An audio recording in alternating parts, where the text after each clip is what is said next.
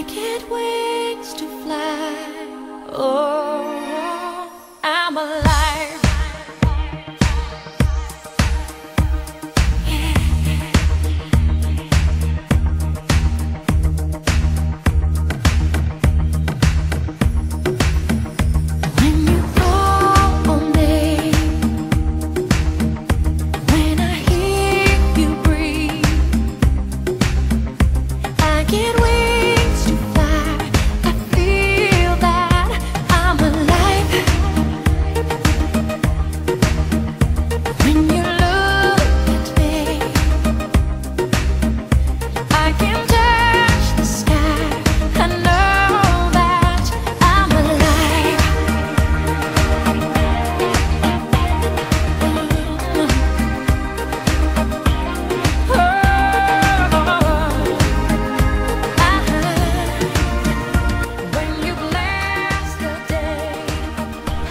Quando traçamos nossos objetivos, às vezes pensamos em dar passos curtos em um terreno onde possamos nos sentir seguros e ter o controle de tudo.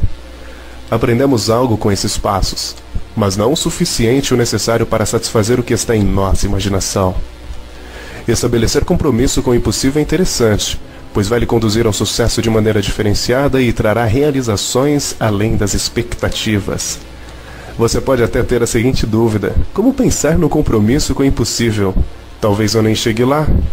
Pode ser que nem chegue mesmo, mas quando alguém resolve realizar algo além de suas possibilidades momentâneas, também precisa pensar e agir além dos seus limites. É nesse momento, quando esses pensamentos e atitudes são superados, que nossos fatos acontecem para abrir horizontes até então desconhecidos. Por mais instruído que seja qualquer mestre, ele também começou do zero. Começou com o simples ABC.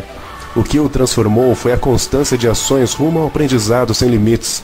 Aprendizado este que desenvolveu a sua sensibilidade, sua intuição, aquilo que ele é como pessoa.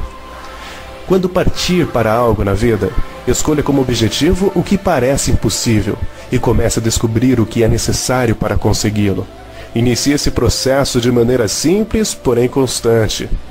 Descubra o novo em cada suspiro de sua trajetória. Muitas pessoas que saíram em busca de um destino terminaram descobrindo que estavam tão perto, mas para isso tiveram que elevar os seus olhos para além da sua área de atuação. A possibilidade de não alcançar o impossível, mas irá descobrir muitas coisas possíveis bem próximas de você que pareciam tão distantes. E graças ao seu desempenho e sua busca, vai encontrar inspirações mais importantes para a vida. Melhor que chegar ao destino é decifrar o caminho. Chame o sucesso para fazer parte de sua vida. Acredite no seu potencial criador, seja inovador sempre, treine sua mente para vencer. Estipule, determine metas e principalmente lute. Lute pelos seus ideais, porque a vitória pertence aos que mais perseveram.